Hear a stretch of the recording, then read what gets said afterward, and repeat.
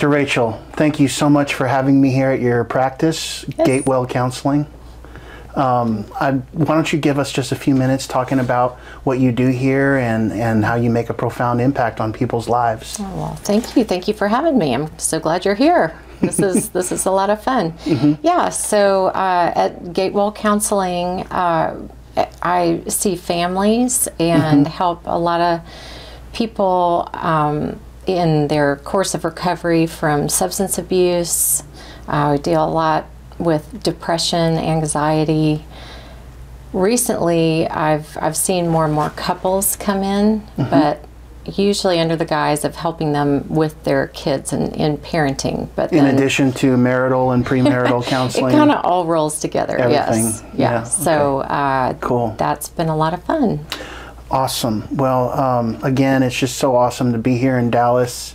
Yeah, and if you- to visit your beautiful facility here. Thank you. It's a blessing. Um, but I want to get into our next topic, Mm-hmm. which is the discussion of the phlegmatic. Yeah. And that is a temperament that is very familiar to you because you are one, right? Right. Right. In control. In yes. control, you Uh-huh. are. Yeah. And um, you also have a lot of familiarity with it because of family members who are phlegmatic Mm-hmm. and also clients Mm. in your practice. Um, specifically, let's talk about the inclusion area, which is service relationships and thought, you know, Mm-hmm. thought processes, our thinking. You know, um, what are some of those characteristics that are typical of a phlegmatic in inclusion? Yeah, so eh, phlegmatics tend to be the most even tempered of all of the temperaments. And last time we talked about how the, the phlegmatic contribution in a blend uh, helps water down whatever that temperament is. So Right. if they are very strong willed, they might be less strong willed. If they're very high strung, they might be less high strung because of that phlegmatic blend. So when you have a phlegmatic in inclusion, just the way that they think, but a pure phlegmatic, some of the, and I have my notes here uh, just to make sure I don't miss anything, they tend to be very witty, have a real dry sense of humor, um, and that's how they approach life in general. But it's also how they keep people at bay, not because they don't want to be around people, but because they they're actually conserving energy. They don't want to be way. drained. Mm-hmm. Yeah. So when you start hearing that wry sense of humor, it's a little bit of a sign of back off, baby. And that's specifically regarding the phlegmatic and inclusion, right? Or does that principle still apply to the other two areas of the, temperament? the other two areas also. Okay. But yes, uh, this so is, if you're a phlegmatic, purely a phlegmatic, not a blending, Mm-hmm. but purely a phlegmatic in inclusion, control, or affection, you keep people at a distance most of the time, right? through through humor. Through yeah, humor, yeah. sarcasm, Yeah, joking. Mm-hmm. it's not all the time, but when you start hearing that, that's actually the little indicator to others that the phlegmatic's kind of done with that conversation. sure.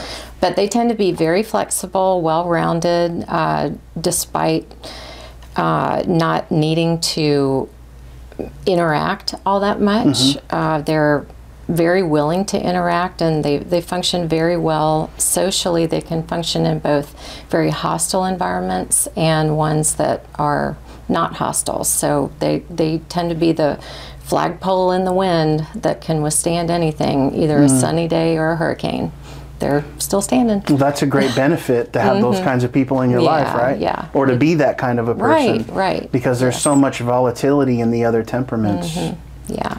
What what else? Like what other character? Like what what are the high marks or the the highlights of Mm-hmm. being a phlegmatic in inclusion in particular? So they're very task oriented, meaning they would prefer to do a job versus fix problems between people or, or interact with people all day long. They would much rather have a task in front of them to do. They uh, they have a great capacity. Well, that's very similar to the melancholy in inclusion, then, right?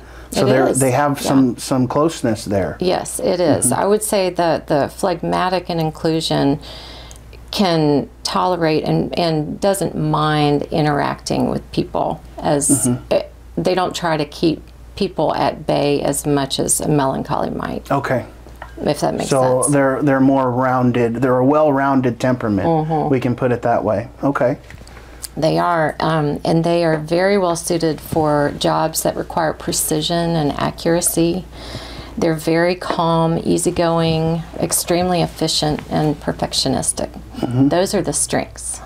Okay. so then you want someone with that kind of a temperament working in bookkeeping or data entry or processes and procedures of some kind. Yeah. I would imagine that would be the ideal career. Absolutely. Right. Yes. Yes. Okay. Yes. Uh, let's move on to our, our next question, and, and you touched on this a little bit regarding um, the blendings.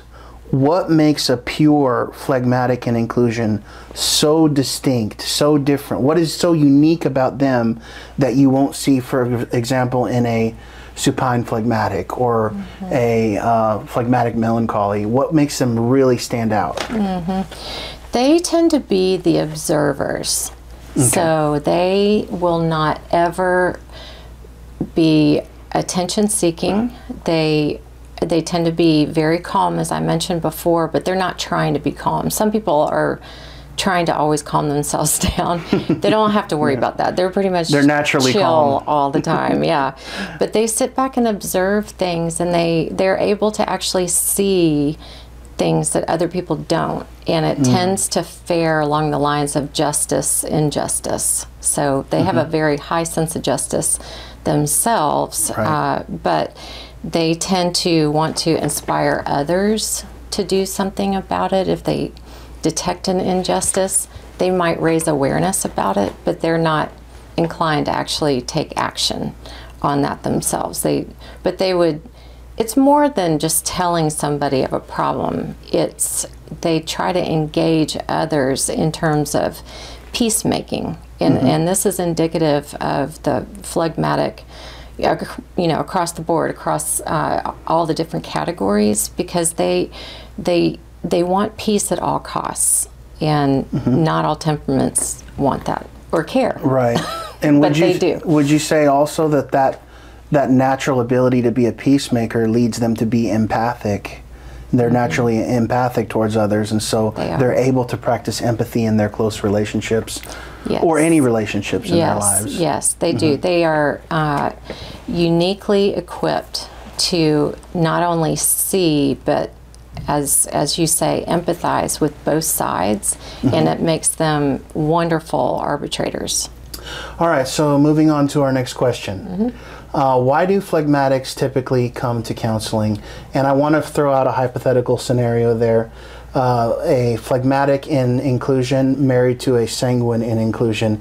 Can Mm-hmm. you explain maybe the dynamics that are going on Mm-hmm. and why, if the phlegmatic is instigating the counseling or seeking counsel, why would he or she be doing that?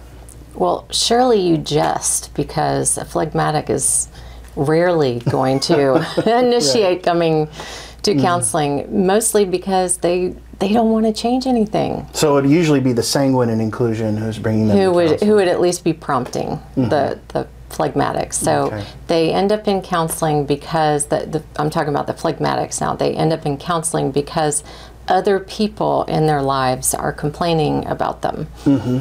And it's not that they are bad people or are doing anything wrong per se. It's just that they're very true to their temperament and mm-hmm. Why fix it if it ain't broke? So they don't see that anything's wrong because mm-hmm. they are trying to conserve energy all the time. That's they're really not self-protective. They're very empathic as we mentioned before. They're lovely people, but they are not going to exert themselves unless they have to. And And so they'll go to appease the sanguine in inclusion. they will. Or whoever it is that's Yes. bringing them. Mm-hmm. Well, finally they will. They so the sanguine will usually have their their needs not being met in terms of attention, affection, uh, you know, stimulation. You know, hey, let's go out to dinner as opposed to staying in for dinner every Right. single night. You know, the phlegmatic is very routine oriented. And the uh, the sanguine just needs variety, and so Sure.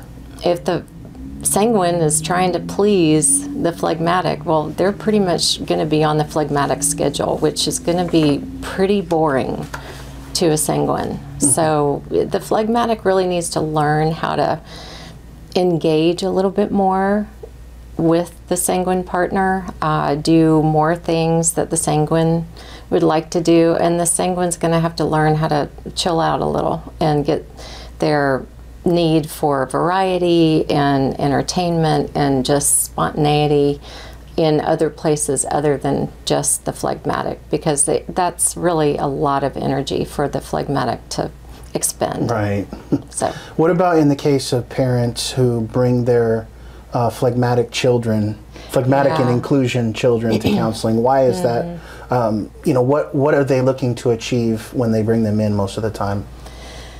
Well, I think a lot of them are concerned that their child is not involved in enough scholastically, so they're mm-hmm. not going to be the ones that are, we'll say, the joiners of different clubs at school. Now, they might, if some of their friends say, hey, why don't you come do this? They, they will, they'll go along with it, but only if it's really easy, only if it fits in their schedule, if they mm-hmm. don't have to th- these are not going to be your track stars usually. right, right. Not the jock. well, they could be, but they're mm-hmm. it has to be easy enough for them. So mm-hmm. everything is about conserving energy, and so the the phlegmatic is just going to take the easiest path. And So then the parents are trying to enlist a counselor as a motivator for their children. Yes. Is usually what happens. Yeah. Okay. Yeah. Yeah. Very much so. It's really helpful for everyone, but it's really helpful for parents in particular to understand, to get educated about this temperament and mm-hmm. understand that they're not lazy, that they're not trying to infuriate other people around them by mm-hmm. not doing certain things and, and by lacking initiative, uh, that they they really are the peacemakers. Highlighting the, the strengths of a phlegmatic and inclusion is very helpful for parents usually. And then for the child, you know, just understanding if they have been called lazy or if they have been labeled, you know, a certain way and they've kind of fallen into that that that funk of not doing anything, having them step up a little bit and saying, okay, you know, how about you engage 15 minutes a day with your family? And, Mm-hmm. you know, it's not too much to actually initiate a conversation at the dinner table. Or So then there is hope for there the phlegmatic hope. child. Yeah, yeah. That's- and, that's awesome. and allowing other people into their world, which is really about loving others, uh, but they're just not going to be super involved about it. Sure. But they can look, they can look unloving sometimes, not not hostile, but unloving. In, in some of my um instances, or some of the clients that I've seen in my practice, the teenage boys who are phlegmatics and inclusion typically They're all gaming. they either game a lot or they listen to music all the time Mm-hmm. and they go in their room, lay in the bed with the lights off, Mm-hmm. just leave me alone. And they need that time. They do to regenerate because the, the phlegmatics really need to uh, regenerate with sleep.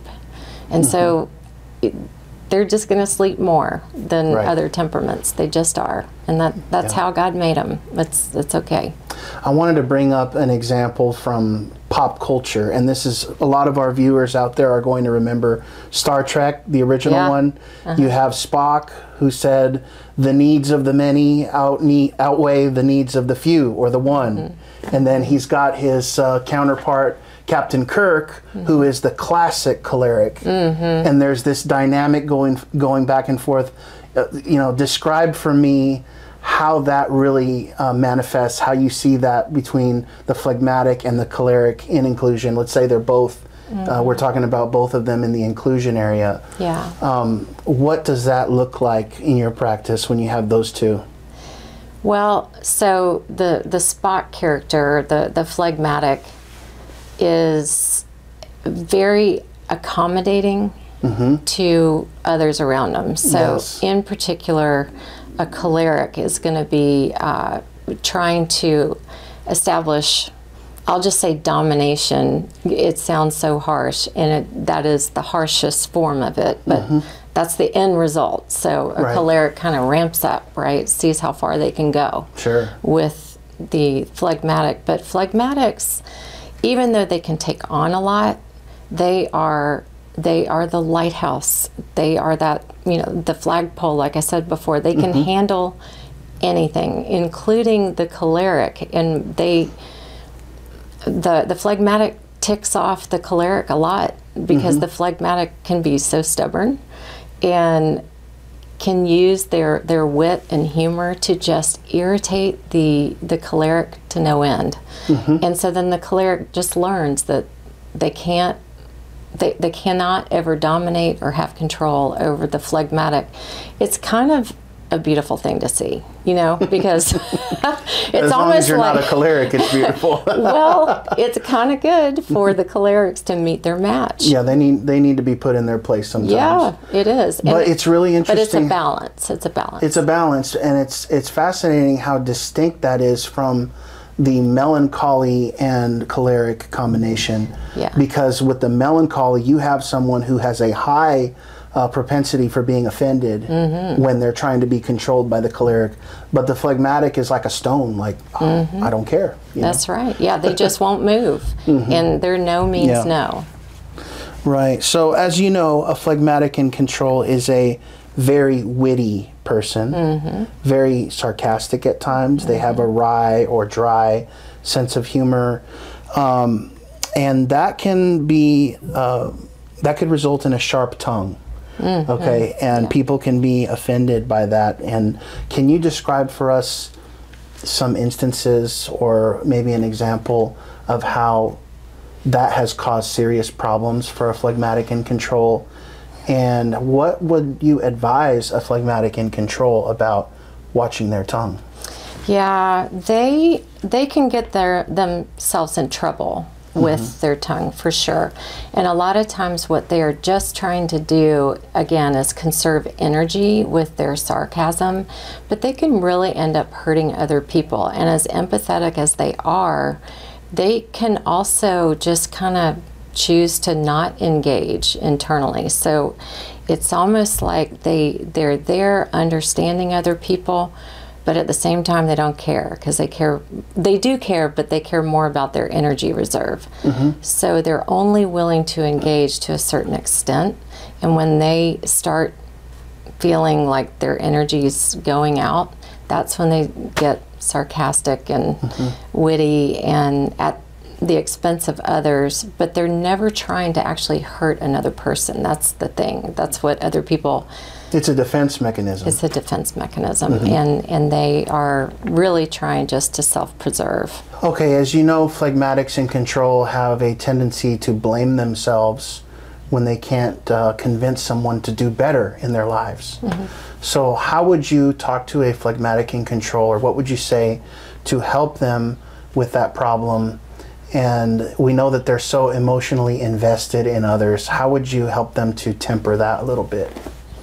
Yeah, so the phlegmatic in control has a tendency to be very self righteous, meaning they think they're right all the time about what they see. Because remember, they, they do observe, Right. uh, they, they tend to see things that, that others don't, but what they observe, they are assuming that their take on it is also the correct one. Right. And so when they are invested in other people's lives, they're assuming that they can help as only they can. So they're really, they will listen to other people's ideas, but their idea is right. So uh, mm-hmm. why use that? So, But then there is a there's a potential for self blame also when other people don't do what they suggest. right. But what I mean is that they are, they are trying so hard to actually convey what they know to be right mm-hmm. that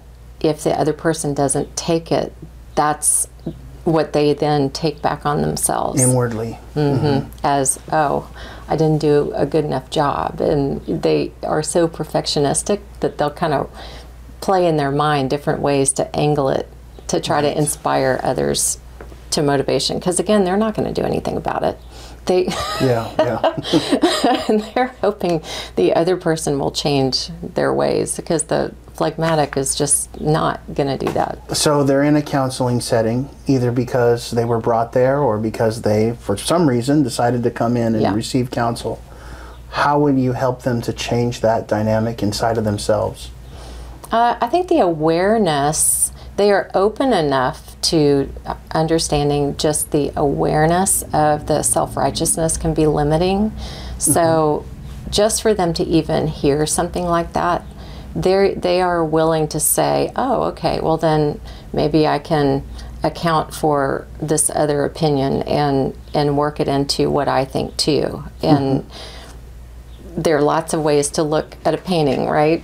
So, lots of different angles. Sure. Uh, why do phlegmatics in control typically procrastinate? And I say that because there's so many instances where we've seen this in our in our practices where they're they just don't want to. And there's other temperaments that are like that too, especially the melancholy, but even supine for different reasons than the phlegmatic or the melancholy. But in the case of the phlegmatic, how would you counsel that person to be timely and dedicated with their commitments or their projects that they're expected to complete? This is a hard one. Uh, they are never going to be the work ahead kind of people. They are not going to be the ones to, on a Sunday afternoon, do what is due on Tuesday. They're, they're just not. Um, part of it is they have other things that they are working on right Okay. now. But the other part is that they're so slow paced and it takes so much energy for them to complete a task.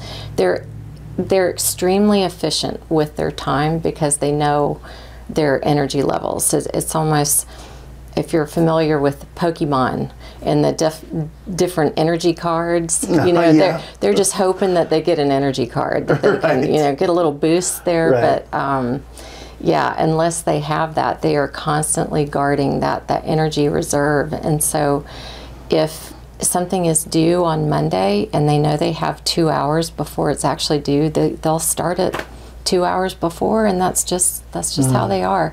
Unless it means something to another person, could you please have this done early? And then they're able to back it up.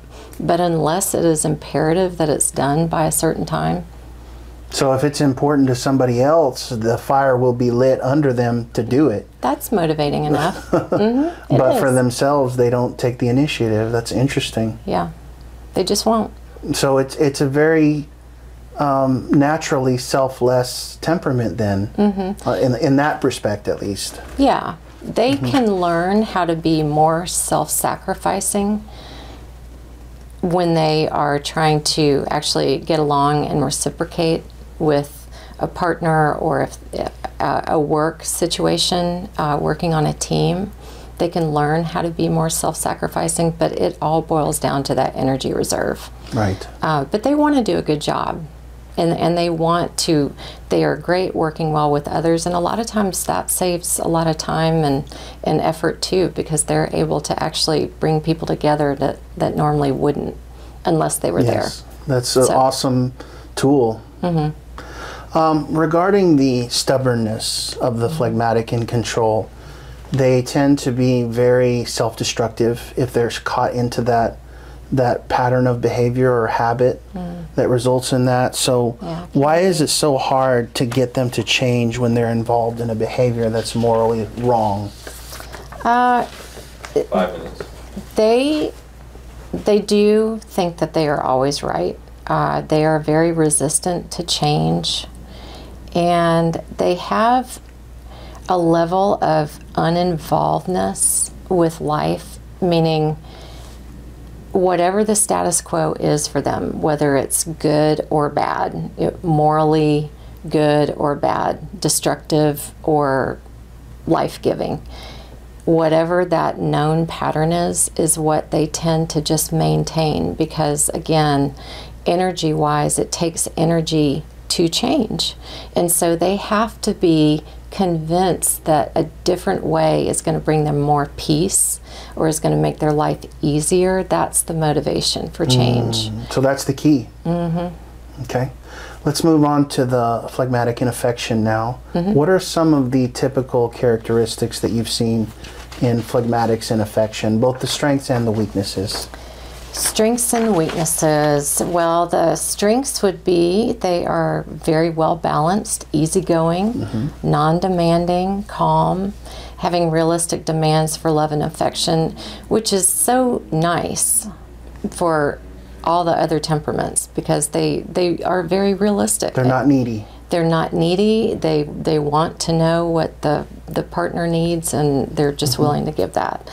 Uh, weaknesses is that they can be unwilling to become involved in general. So, if, for instance, a, a supine partner isn't speaking up as to what they need, the phlegmatic's just going to lay around. I mean, they're fine. so you're going to have the the phlegmatic in affection doesn't have many needs to be met. Right. So uh, it's really up to their partner to articulate what they need because the phlegmatic is kind of good to roll with whatever is there. Sure. Uh, they they have a tendency to be observers only, unless Rather than involved in the relationship. Exactly. Uh, they're rarely self sacrificing, again, unless they have a motivation to be different. Um, unemotional, unexpressive, which can be really confusing to other people around them. They get misread a lot. Uh, sometimes they're misread as being cold or indifferent, which is not at all the case. It's just that they are so unflappable that uh, other people may be freaking out or super exuberant about something, and the phlegmatic is pretty monotone. They might have a little smile, or you might hear a "yay," but there's just there's there's not a lot of emoting. Um, but they they still have a lot of feelings. Uh, their verbal defenses are used to protect their low energy supply, and uh, that's true for um, both physical and sexual involvement with their partners. So, in the case where a spouse is married to a phlegmatic in affection and is not getting the kind of reaction that they expect to expressions of love and mm. care, mm. um, how would you advise that spouse? Well, I guess you would first start off by explaining that a lot of mm-hmm. these things are innate in their spouse. Mm-hmm. But then, how would you turn it to the other, the other side of the coin and say, well, this is how you need to step up, or this, these are some changes that you need to, to, to make. To the phlegmatic, Yes, to the phlegmatic. Yeah. So the, yeah, the phlegmatic just needs to know what needs are there, and mm-hmm. and then the expectation would be that they could step up a little bit. Mm-hmm. They're never going to step up a lot. So mm-hmm. if if their need is uh, let's say at the neutral position and their partner has a, a really high need, their partner is actually going to need to find ways to fulfill that need in, in other areas that are good. Mm-hmm. But the phlegmatic can learn how to step up a little bit, but they're just never going to be able to match it. Okay, so one more question, Dr. Rachael. A lot of times, a, a certain response is expected by a phlegmatic in affection, and they just don't appear to be involved emotionally when they should be. For example, mm-hmm. Uh, a phlegmatic in affection who's attending a funeral is expected to cry, but doesn't really have a natural uh, ability to express themselves that way. How would you uh, advise? Because we don't want there to be falseness, a faking of tears. Or whatever kind of emotional, that's an example, but there could be positive emotions, you know, more laughing, more spot, more more jovial type of behavior or demeanor. How would you advise them to deal with that when people are really getting repulsed with how emotionally uninvolved they are? So they they do want to be engaged socially, uh, which is that's a good thing. So as opposed to uh, the the melancholy and affection that would prefer to be the wallflower, right? yeah. So at least the phlegmatics in the mix, but they their natural state is going to be to be, as you said, non-expressive, probably not talking, just you know, wrapping their arm around another Right. person, you know, not even saying anything. But to teach them how to actually express what they're feeling. I'm sad too, or this is such a loss. That that kind of thing, just to articulate something, just in in a mannerism or some way to convey to other people what they're feeling on the inside. Their feelings don't have a, a huge range, and so the the sanguine swings all the way up here and then all the way here, and the the phlegmatic is is just up and down a little bit. Right. So they're just very even tempered, but to people that live around them and and love them a lot of times they can feel their their family members can feel unloved by the phlegmatic just because the phlegmatic doesn't naturally express what they're feeling. They'll receive it mm-hmm. but they don't naturally seek it out to give it. So they Right. they have to learn how to actually express love and affection and attention to other people So it's an bit more. intellectual decision. It's They uh, do have uh, to decide that. It's an action in their mind that they have to take, even though this isn't naturally coming out. I'm going to Mm-hmm. Do it, and Yeah. that's not fake. well, it's like anything. If if we are living with other people that we love, we want to love and serve them the way that they feel loved, and Mm-hmm. so we just have to make the decision. Okay, they wanted me to sit beside them, you know, on Mm-hmm. the couch to watch a movie. That may not be how the phlegmatic is in affection is wired. They may Mm-hmm. prefer to sit by themselves, but if it means a lot to the spouse, then go sit beside them. And they're genuinely happy to do that. Yes, Um, but they have to be told. They have to learn. right. Okay, well, we're going to wrap it up right there. Dr. Rachael, thank you so much for doing this interview. Yes, pleasure.